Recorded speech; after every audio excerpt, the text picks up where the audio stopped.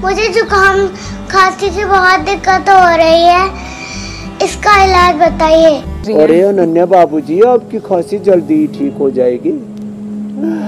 छोटी बच्ची है। तो बिटिया, आपकी खांसी के लिए एक तो जो मीठी मीठी गोली है यमी यमी, कंठामृत, उसको चूस लेना। और दूसरा ब्रोन को बड़ा ज़बरदस्त है। एक एक गोली सुबह, दोपहर, शाम, तीन बार ऐसे ले लेना। नहीं तो श्वास सारी प्रवाहित थोड़े से गुनगुने पानी में पी लेना। अनन्या बाबूजी, आपकी खांसी पूरी ठीक हो जाएगी जिन बच्चों की लो इम्यूनिटी होती है, उनको भी प्रॉब्लम होती है तो हो सके तो आप थोड़ा सूर्य नमस्कार भी कर लेना अनन्या जी। नहीं तो प्राणायाम ही कर लेना। और लो इम्यूनिटी के लिए, खांसी के लिए तो सासारी और ब्रोनकोम हम बताते हैं, लो इम्यूनिटी ये सर्दी जुकाम बहुत बच्चों को मैंने ठीक किया है।